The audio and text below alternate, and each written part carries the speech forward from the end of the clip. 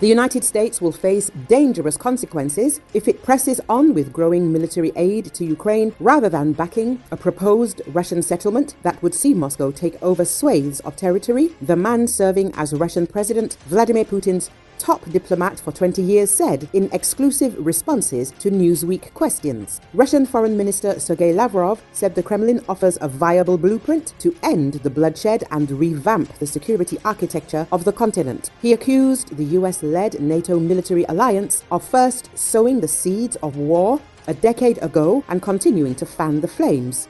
Russia is open to a politico diplomatic settlement that should remove the root causes of the crisis, he said. It should aim to end the conflict rather than achieve a ceasefire. At present, as far as we can see, restoring peace is not part of our adversary's plan. Zelensky has not revoked his decree banning negotiations with Moscow, Lavrov said. Washington and its NATO allies provide political, military, and financial support to Kyiv so that the war would go on. They are discussing authorizing the AFU, Armed Forces of Ukraine, to use Western long range missiles to strike deep into Russian territory. Playing with fire in this way may lead to dangerous consequences. What we have in mind is that the world order needs to be adjusted to the current realities, he said. Today, the world is living through the multipolar moment. Shifting towards the multipolar world order is a natural part of power rebalancing, which reflects objective changes in the world economy finance, and geopolitics. The West waited longer than the others, yet it has also started to realize that this process is irreversible. Lavrov's remarks come as the Russian military advances on several key Ukrainian fronts, despite simultaneously battling a Ukrainian counterstrike within Russia itself. Despite this warning from Moscow, Commander of the United States European Command, General Christopher Cavoli, has compiled a list of weapons that could assist Ukraine in its defense against Russia. This list includes long range missiles, among other items, according to CNN.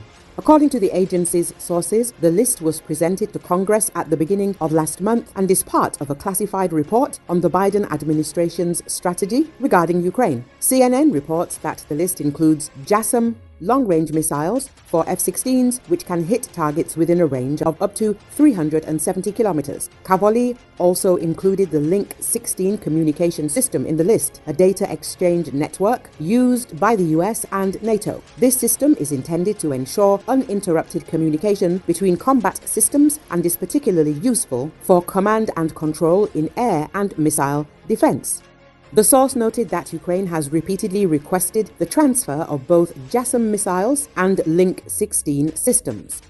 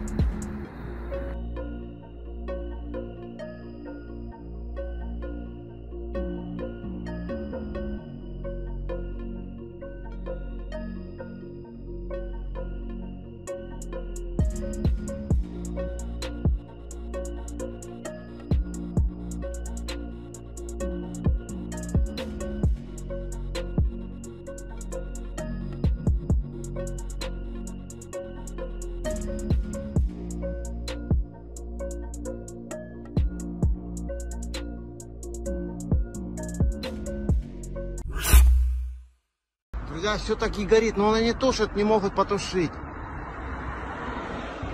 Да, там машины все останавливаются, смотрят, офигеть. Не знаю, она горит, смотрите, видите, как подписчики? Они тушат, не знаю, прям копоть такая идет. Ой-ой-ой, что творится. И там вот дальше маленько там. Копоть горит, ух. Дай Бог, чтобы пожарники потушили. Дай Бог, пожарники, пожалуйста. Пожалуйста, боженька, дай Бог, чтобы потушить. Потушит. Офигеть, он как горит. Ой-ой-ой, как горит. Бедная нефтебаза.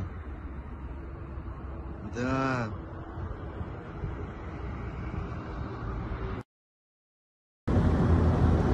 А это, мои друзья, онлайн видео лично от меня я подъезжаю сюда.